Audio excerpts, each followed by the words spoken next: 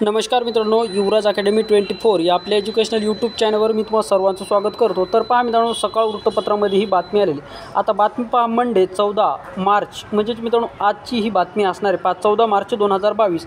तर ही कधीची बातमी आहे? पाच चौदा मार्चचे परंतु ही आली कधी? तर पहा एक हावर्स ॲगो तर पा एक तास अगोदर आलेली बातमी आणि ही आजचीच बातमी आहे मित्रांनो ही ताजी बातमी आहे. तर बातमी काय पहा मित्रांनो या ठिकाणी पाहू शकता खुशखबर आहे मित्रांनो एक पोलीस भरतीची तयारी करणाऱ्या विद्यार्थ्यासाठी.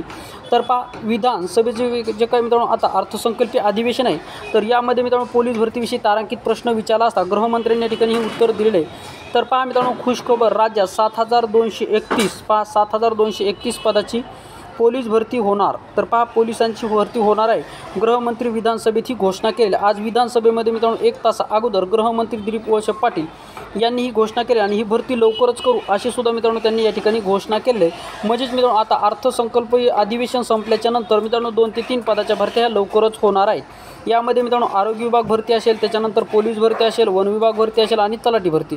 ह्या तीन चार भरत्या मित्रांनो लगेच एप्रिल मे महिन्यामध्ये होणार आहेत. तर मित्रांनो ही होती सर्व विद्यार्थ्यांसाठी अतिशय आनंदाची बातमी. तर अशा स्वरूपाची नवीन अपडेट पाहण्यासाठी चॅनलवर नवीन असाल चॅनलला सबस्क्राईब करा. जास्तीत जास्त मित्रापर्यंत हा व्हिडिओ शेअर करा. तर या ठिकाणी आपण थांबूयात मित्रांनो. थँक्यू धन्यवाद.